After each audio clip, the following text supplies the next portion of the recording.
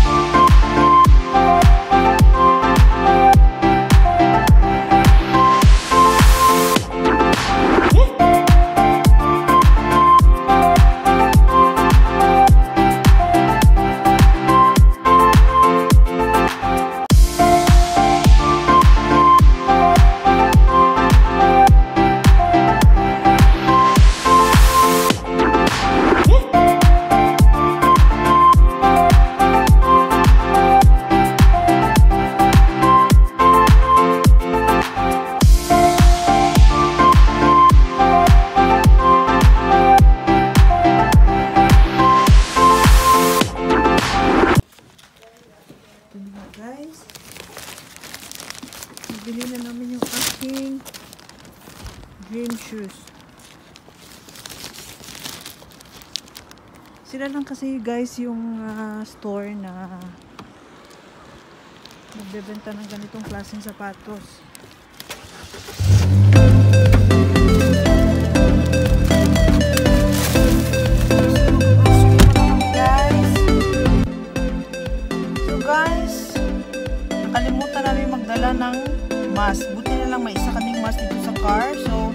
Asawa ko na lang ang nag-grocery guys. Kasi isa lang yung mask kasi kailangan talaga mag-mask dito sa amin. So, ah, lalabas muna ako saglit. At ah, ito pala yung aming ah, suki na groceryhan guys. Yan yung kiwi. Ayan, sa aking likuran. So, mag-ikot-ikot muna ako dito guys while I'm waiting for my husband. So, as you can see guys, maraming sasakyan. So, maraming nag-grocery. And, uh, as always, malamig dito guys. Naka-jacket, pero wala akong gloves. Pero okay lang. So, time check dito guys is around uh, 3.30pm. And uh, soon, mag... Uh, na ako ng dinner sa bahay. So ito yung uh, place Croxadelva guys kung saan kami nakatira. So yung aming bahay guys hindi masyado malayo sa uh, binibilhan namin ng food or uh, nag-grocery kami. Kasi doon na side guys, doon na side banda, doon yung aming uh, store center, yung shopping mall. Pag bumili ka ng mga damit, sapatos. Malamig talaga guys, oh. Yung aking hininga para ako nagsusmoke.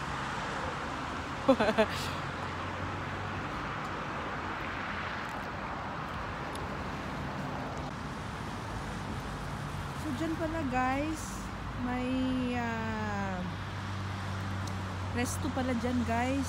Ayan dyan. Diyan kami bumibili minsan ng uh, burger or pizza. Tapos dyan naman sa kabila guys, I think apartment yan. Tapos doon sa taas, yan yung uh, dentist uh, dentist clinic nila.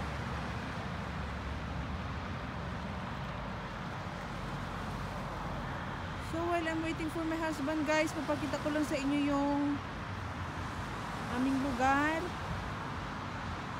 Ayan guys, hapon na dito guys. Ano pa lang, at 3.30 o'clock puro parang padilim na kasi nga uh, winter na guys. Ganun, ganun kasi dito. Pag winter, madali na lang magdilim.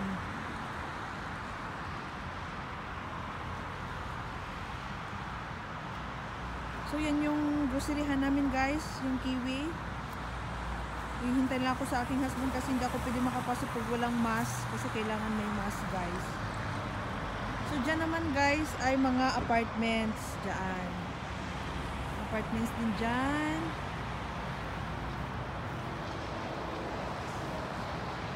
Push na ko guys. Iniwan na nila yung ano dito o yung push cart. Hindi man na nila maipasok. Kasi yung mga tao talagang uh,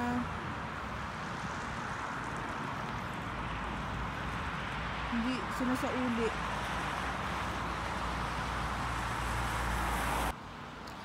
Oh. Manigrilin mo na ako guys ha. oh. Naboring ako kunti guys kasi ang tagal ng aking asawa. Baka maraming customer doon sa groceryhan. Hintay-hintay mo lang muna si Inday kasi hindi pwede pumasok.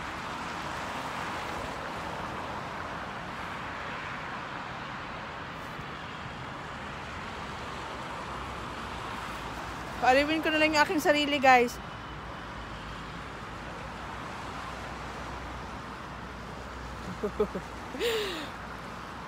Marami siguro na grocery ng aking asawa, kaya matagal siya.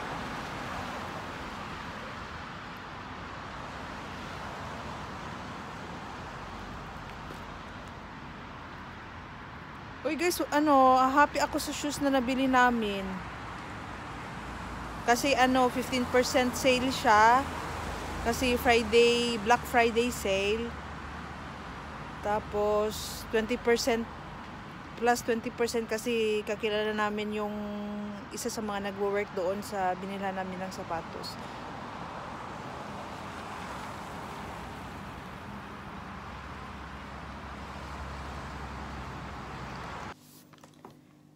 So, ayan na nga guys. Andito na kami sa aming uh, bahay. Kararating lang namin na grocery at bumili ng aking sapatos. And uh, by the way guys, ito pala yung shoes na binili sa akin ng aking pinakamamahal na asawa. It's Hoka shoes. Ang pangalan ng shoes na ito guys is Hoka. And uh, nabasa ko sa Google guys na it was origin originated sa France pala guys. And uh, itong klaseng sapatos dito guys sa Norway is uh, very famous. At nakikita ko sa mga tao guys, ito yung ginagamit nila pag nag-running sila, nag-jogging or nag-training. So, nagka-interest ako guys na i-try ang ganitong klaseng shoes. And uh, ang price pala nito guys is around 2,000 kroner, around 10,000 pesos. And uh, luckily, yung nagtatrabaho doon sa Bjorn Meira, kakilala namin. So, we got uh, 20% discount. And uh, we just paid 1,599 kroner or around 8,000 pesos. So, worth it naman siya guys. Medyo may kamahalang shoes. Pero, I think, uh, matibay naman ito guys. And it will stay uh, for a longer time if uh, hindi mo lang siya abusuhin na gagamitin. So, uh, I love this kind of color guys kasi nagmatch siya sa aking uh, jacket. Pero, hindi ko siya magagamit guys pag nagsusnow kasi itong klaseng shoes is ano, madulas, slippery. So, I'm gonna use this for uh, running. So, yun lang guys. At uh, I hope nag-enjoy kayo sa aking uh, vlog for today. And uh, don't forget to like and subscribe. And comment down below. Bye guys!